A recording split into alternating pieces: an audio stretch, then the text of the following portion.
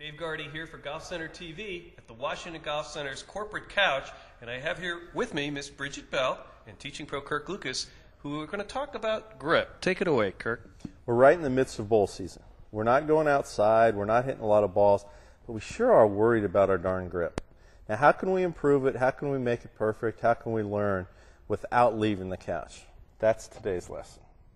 Well, we're supposed to grip this, but it's much easier to learn with this we take our metal ruler and we hand it to Bridget here, she's going to grab it in just your left hand and straight up and down like that's the club face. Go ahead and grab it one more time. Good. Feel how stable and secure it is, and it's easy to hold, and the ruler feels nice and light. Mm-hmm. Those are all characteristics or traits of a correct grip. Now, had we all learned to do this, we'd have been much better, much sooner, much earlier, and golf wouldn't have been as difficult as it, as it is. And what we've done is we've taught you to grip the club perfectly without doing anything at all. Now, what are the characteristics of a good grip? Well, first of all, if you were to hold the club up this way, what you're going to see is that the club is very much in her fingers. Very simple. The second thing we're going to see is that this V that the whole world's been talking about for years and years and years, where's it pointing? Just up here at your right ear or even somewhat at your chin. So that's a nice, neutral, terrific grip. What you'll also see is this first knuckle is very much separated from the last three. And the golf club is perfectly stable and perfectly secure. It's a really easy way to do it. The next thing that we'll notice is you can easily hold the club here. Now release these last three fingers. See how it's nice and stable in there? Just bounce it around a little bit. See how it's really not going anywhere? Mm-hmm. Good. And that's a sign that this golf club works up underneath this pad right here as opposed to in between the pads in your hand or the palm. Feel how heavy the club is? Mm-hmm. And that's what we see time and time and time again.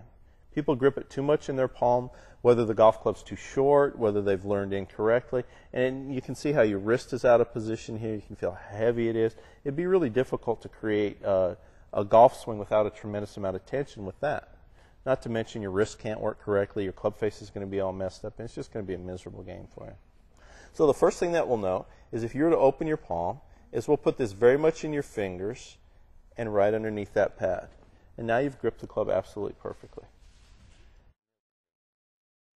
Now, what do we do with the other hand? We've got to do something with the right hand. So what we're going to do with it is we're going to just go ahead and take your right palm, and if I were to squeeze it together, you can see that crevice that the two pads create. And all we're going to do is put this left thumb in that crevice. So go ahead and go ahead and grip it there. Now, you've got a tour grip. Absolutely perfect. It's fabulous. Can't get any better. Now, you could hold the golf club as light as you care to and hit golf balls and swing, and it's not going to go anywhere. And that's just a testament to the fundamentally proper grip that you have. Well, this is all great and fine, and if this were your golf club, you could see how the club face is nice and square there. And if you were just to make some little swings back and through, it would just go ahead and come back to square each time. Don't you can hit me, I don't mind. go ahead and make a little backswing, um, and that's a really good way to learn your grip. Grab something in the shape of a ruler and just continue to put your hands on, take them off, put them on, take them off, and you'll start to notice some things, how it feels, how it looks, um, and that's a great way to learn your grip. Next step got to somehow figure how to make this go from there to here. Now, what the golf club companies do is, is oftentimes on the grips, they give us these diagrams, and this should be here, and that should be there, and this should be over here. And it's pretty confusing for me. Now, how am I supposed to figure this out? I just want to hit the golf ball, right? I just want to get it in the air. Well, we can use the same methodology that we used with the ruler to grip this. So we'll go one more time. Hold your left hand out. We'll run it across your fingers and underneath the last pad here. Feel how it's up underneath there mm-hmm. or it's mm-hmm. wedged in there? There's your grip. Fabulous.